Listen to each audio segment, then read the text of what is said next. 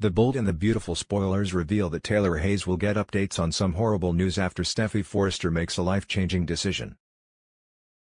Taylor was hoping Steffy and John Finn Finnegan would work things out, but Sheila Carter will leave their marriage in limbo all over again. Once Steffy moves overseas with the kids, BB spoilers say Taylor will be furious with Sheila for making a mess and forcing her daughter out of the country.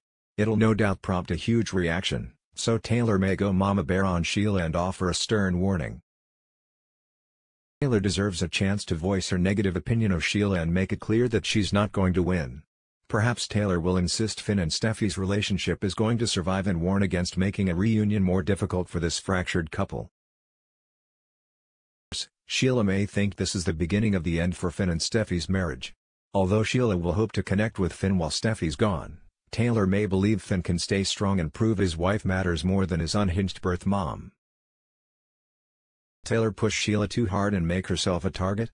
Time will tell, but Sheila will have more time on her hands for plotting against other people once Steffy's out of the picture. Taylor may need to watch her back since Sheila certainly won't give up on forming a real bond with Finn. If Taylor dares to stand in Sheila's way, she could pay the price for that as the drama heats up in the coming weeks. However, Taylor could fight back and become determined to make sure Sheila doesn't rob Steffy of any more joy.